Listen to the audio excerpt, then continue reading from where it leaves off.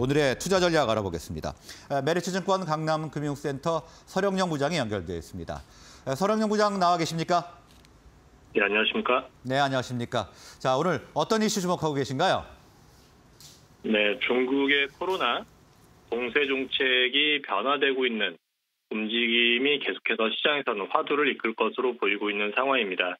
어, 단일 도시로는 전국 GDP, 중국의 GDP의 2.5%를 차지하는 광저우 지역에서 봉쇄 완화하는 조치를 발표를 했습니다.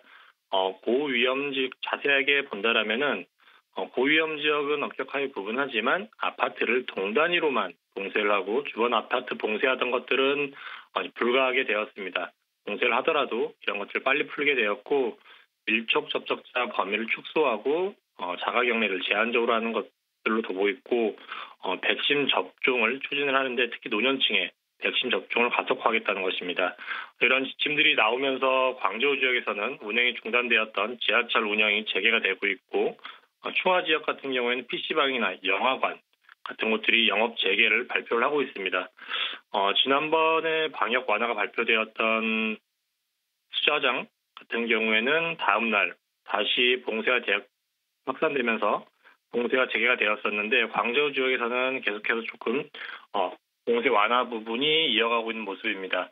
어, 특히나 지금 중국 코로나19 방역의 사령탑이라고 볼 수 있는 순춘란 부총리가 어, 전일에는 코로나19의 최신 변이인 오미크론은 치명적이지 않다라고 말하는 등 제로 코로나의 완화 방침을 명확하게 시사하고 있는데 이러한 부분들로 이루어진다라면은 그동안 중국 소비 관련해서 계속해서 묶여있던 소비 심리들이 풀리게 된다라면은 국내 증시에도 위드 코로나로 변경되는 중국의 정책 모멘텀으로 인해서 중국 소비주들이 성장 모멘텀을 얻을 것으로 예상이 되고 있는 상황입니다. 네, 중국의 코로나 봉쇄 정책 완화와 관련한 상황 주목할 필요가 있다 말씀을 주셨는데요. 어, 그러면 관련해서 종목도 좀 알아볼까요? 어, 이와 관련해서는 눈여겨볼 만한 기업으로는 청담 글로벌이 있습니다. 네, 청담 글로벌 같은 경우에는 화장품이나 영유아 제품, 뷰티 제품을 중국이나 미국 등으로 브랜드 발굴부터 판매까지 한 번에 한 이커머스 업체인데 어, 화장품 매출 비중이 약 60%, 건기식과 영유아 제품이 30%가 되고 있는 상황입니다.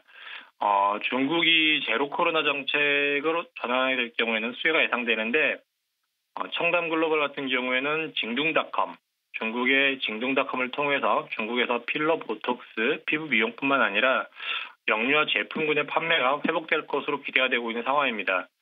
어, 그간에는 징둥닷컴 매출 비중이 너무 높았던 것이 리스크로 볼 수 있었는데 어, 또 하나의 유통망인 티몰까지도 유통망이 확대되었기 때문에 그러한 또한 리스크도 제거되어 있는 상황이라서 어, reopening 상황에서는 조금 더 빛을 발해보지 않을까 싶습니다. 어, 기존의 징둥닷컴향 매출이 약 2,400억 원에서 내년에 티몰향으로 월 100억 원씩 추가되는 것을 감안한다라면은 2003년도에는 약 4,500억 원, 매출액의 OPM 8% 수준인 영업이익 360% 360억 원을 예상을 해볼 수 있겠습니다. 어, 현재 시총이 2천억 대 부근이기 때문에 valuation 상으로는 충분히 upside가 있는 상황으로 보이고요.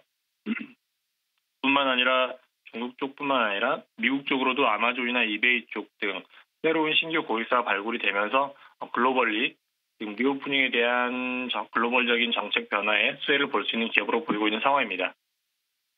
네, 청당 글로벌 오늘 관심 종목으로 분석을 해봤습니다. 오늘 말씀 고맙습니다.